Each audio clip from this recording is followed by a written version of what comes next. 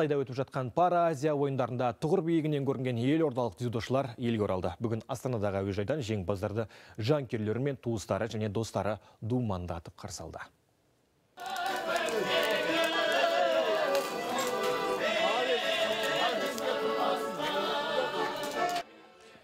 Осы жолы қазақстандық парадидошылар рекордтық көрсеткішке қол жеткізді. Қытайдың Ханчжоу қаласында өтіп жатқан ойында 19 парадидошының 14-і жүлдемен оралды.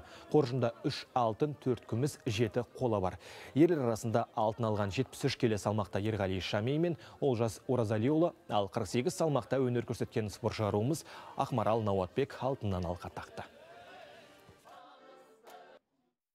жарыстың нәтижесіне өте қуаныштымын қарсыластарымға дайын болдым бірақ ең қиынға соққан күресім ол ақтасым болды. Ол жерде қытай спортшысы өз елінде күресіп жатыр.